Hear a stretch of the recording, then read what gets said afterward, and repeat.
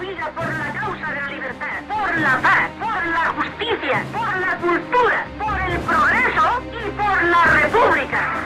El caudillo perdona y redime. Un Estado totalitario armonizará en España durante el año de 1937, los rebeldes habían conquistado la Franja Cantábrica. En octubre, Negrín movió la capital de la República de Valencia a Barcelona, y a principios de diciembre los nacionales comenzaron a preparar la repetición de la batalla de Guadalajara, que se había librado en marzo, y los italianos se quedaron muy lejos de cumplir con su objetivo de sitiar Madrid. Esta nueva operación llegó a oídos de la inteligencia republicana. Los generales del Ejército Popular, temiendo que este nuevo asalto a Madrid tuviera más éxito que los cuatro anteriores, decidieron retomar la iniciativa ya que esto tendría ciertos beneficios. Además de ganar tiempo al sector central, encontrarían el frente de Aragón más débil ya que los nacionales estaban moviendo hombres a este nuevo asalto en Madrid. La ofensiva de Belchite, aunque con objetivos políticos, también podía tener un objetivo estratégico como era Zaragoza, que tenía casi 200.000 habitantes. Pero la batalla de Teruel no tendría más objetivos que alzar la moral, ya que la ciudad de unos 15.000 habitantes sería la primera capital de provincia capturada por los republicanos en toda la guerra. Como valor militar, Teruel podría haber tenido valor operacional, es decir, no tiene tanto valor como para ser estratégico, pero puede tener cierto valor como medio para presionar Zaragoza, que es el objetivo estratégico, por lo tanto, tampoco sería un objetivo táctico, sería un objetivo operacional. En realidad, la ofensiva que le hubiera gustado a Vicente Rojo hubiera sido el Plan P, una operación para atravesar Extremadura y cortar en dos el territorio nacional, pero la amenaza del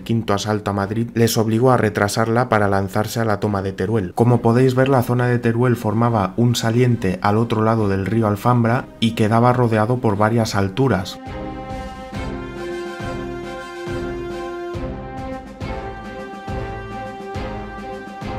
El plan republicano era hacer una pinza hacia San Blas capturando Concut y el Campillo para después hacerse rápidamente con la Muela, una zona alta que controla la ciudad y sería esencial para poder tomar Teruel y más tarde también para defenderla ante un esperable ataque.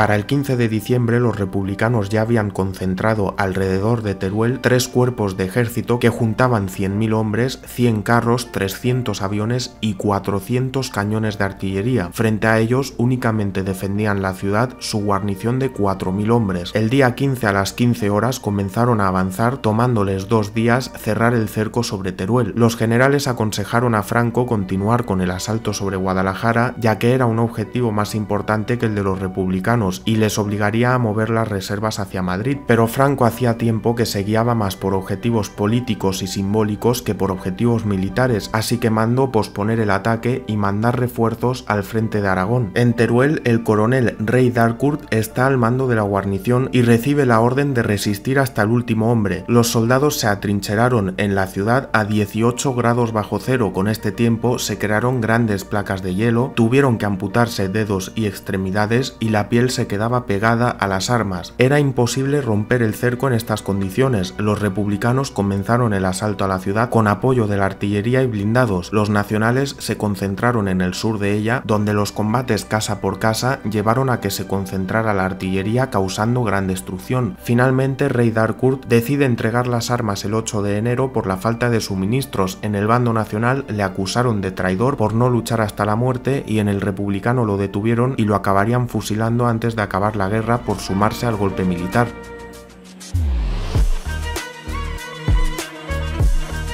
Franco en su línea de no ceder ni una ciudad planeaba recuperar Teruel. El general Dávila con 100.000 hombres comenzó el contragolpe a finales de enero. Por aire se dieron duros combates y por tierra la artillería italiana hablando las defensas republicanas. En pocos días tomaron la elevación estratégica de la Muela. En las afueras de Teruel encontraron a las brigadas internacionales y los avances se ralentizaron. Pero en el bando republicano la fatiga llevó a varias desobediencias y terminaron por fusilar a 46 soldados y enjuiciar a otros 60. Para tratar de aliviar la presión sobre Teruel, lanzaron un ataque sobre Singra con objetivo de cortar la línea de suministros que llegaba desde Zaragoza. El ataque fracasó y en Teruel continuaron los combates, acabando enero sin que ninguno de los dos bandos lograra avanzar. En febrero decidieron los nacionales atacar la bolsa republicana entre Vivel del Río y Teruel, ya que estaba mal fortificada y se habían comprometido muchos hombres a la defensa de Teruel. Se lanzaron desde tres puntos hacia el río Alhambra.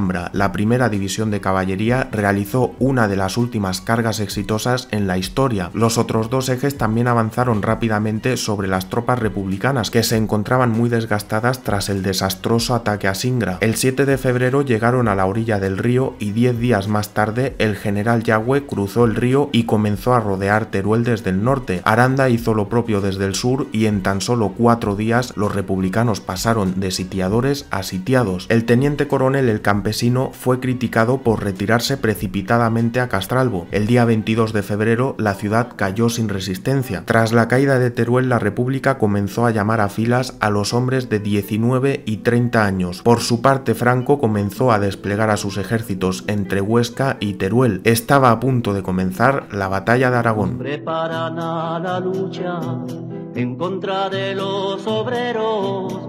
Un rayo me parta si atacó a mi compañero. La guerra que tanto temen no viene del extranjero. Son huelgas igual que aquellas que lograron los mineros.